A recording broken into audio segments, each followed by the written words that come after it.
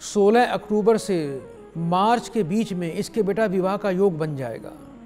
सबसे पहले भैया को बोलना शुक्रवार को बेटा काली गाय को हरा चारा और किसी विकलांग या किसी नेत्रहीन व्यक्ति को भोजन दान करे अन्न का दान करे।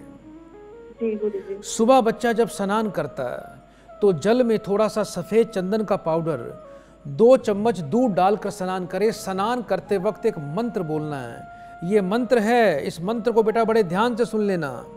ये मंत्र है वल फकस वल फकस वल फकस।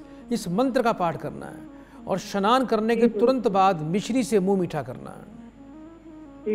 इसके अलावा बेटा ये बच्चा सुबह जब नहा धो ले अपने घर के पूजा के स्थान पे एक बेटा देसी घी का दीपक जलाना है। सीधे हाथ की हथेली पर बेटा ग्यारह चावल के दाने दो तीन बेटा सफ़ेद फूल हाथ में रखकर एक मंत्र बोलना है, ओम ह्रीम आगच्छ कामेश्वरी स्वाहा, ओम ह्रीम आगच्छ कामेश्वरी स्वाहा।